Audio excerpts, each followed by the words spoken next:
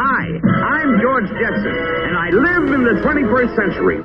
I have been wishing for my own Rosie as early as I can remember, and clearly some other folks have been working hard to make her happen. This brand new bot, just debuted at CES, is called Kuri.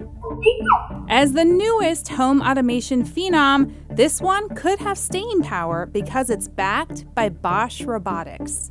So, how'd we get here? First, we need to take a look back.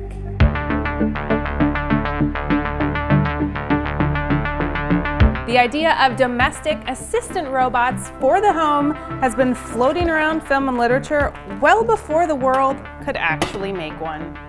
There's Tick-Tock in Return to Oz in 1907, of course, my favorite, Rosie, and a whole slew of movies that basically warn humans one day the tables will turn. I'll be back. Or we'll owe them our survival, like WALL-E. There is no halfway where robots are concerned. Have you any idea what this is, Christian? Well, maybe. Is it a robot? But the first truly useful home robots didn't roll out until the 1980s when Mr. Wizard featured the Hero. Three. It was controlled by an onboard computer and had light, sound, and motion detectors. It didn't reach massive popularity, but it paved the way for my BFF, the Roomba, which is still the most widely accepted of all home robots. We even have Pepper, Nao, and Buddy.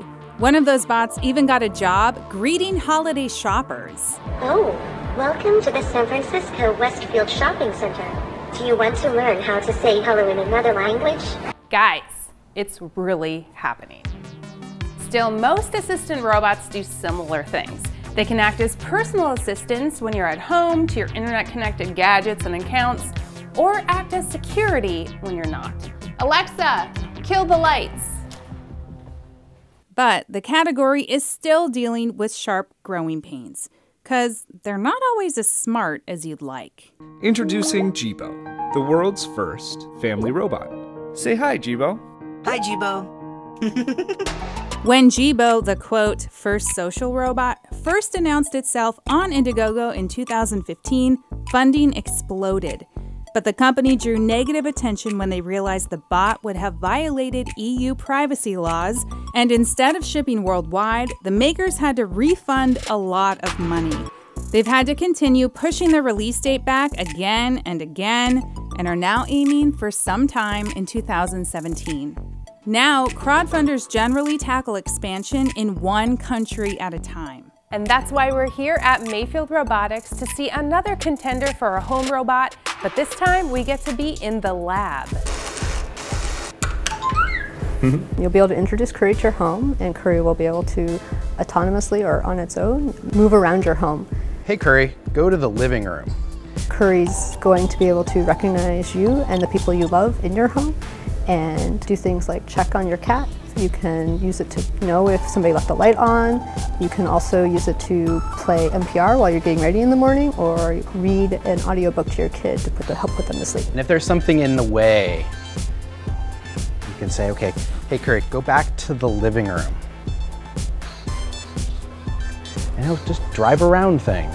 Another contender in the home robot space, this one is backed by Bosch Robotics and is taking expansion slow. We're trying to limit scope, so not try to do everything, but really focus on personality as our big focus and make sure that everyone can have a great robot.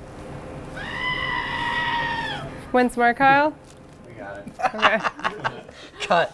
It has small eyes that move to express robo like emotion, but unlike the other recent competition, it does not talk.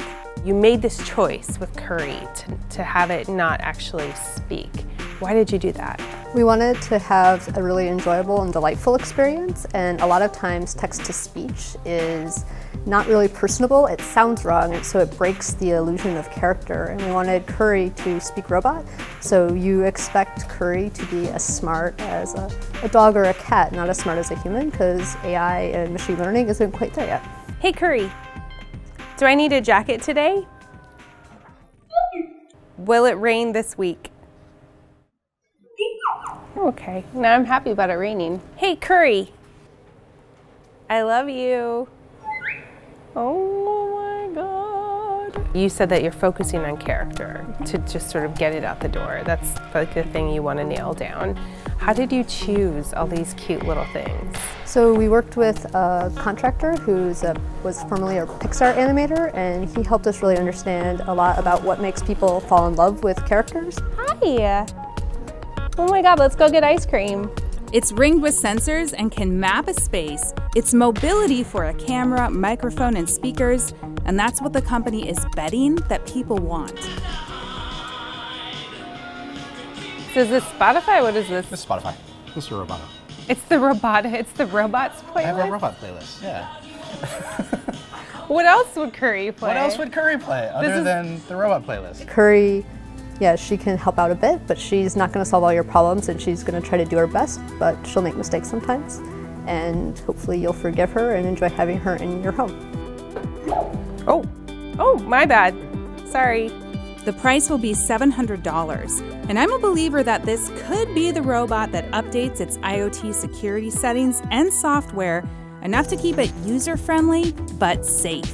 After Kuri is shipped, the software will continue to update. Why is that important to you? So over time, as the robots go out and we learn more, it's really important to be able to improve their capabilities and as you are interacting with the world, you learn things and improve your performance, so should a robot. In the automation of your home market, all the Alexas and Chromecast dongles and Nest thermostats can feel like a lot to manage. Adding another thing to the mix seems like a mess, but I think it's here to stay.